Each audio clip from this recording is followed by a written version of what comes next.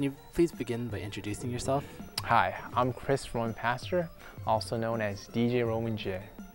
I've been a DJ for about six years now and counting. What inspired me DJ is actually probably my cousin. He brought me to a gig where he DJed and told me to DJ for a few tracks and when I played those tracks, the crowd just loved what I played.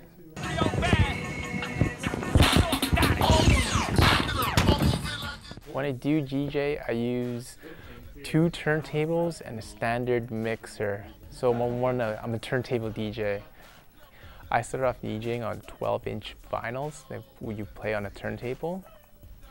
But now DJing has evolved to a point where it's become all electronic and digital. At the point where every DJ will need a laptop. And right now I use a program called Serato Scratch Live and it's able to emulate MP3s as vinyl. There's several ways that I promote myself. One, I do have a website, djromanj.com, where I have a blog and a list of all my mixes. Another way is obviously through social media. I use Facebook and Twitter. And the third way, I think one of the best ways is just networking, going to events, meeting people, meeting the promoters, meeting club owners, and just showing your face in the scene, trying to be recognized.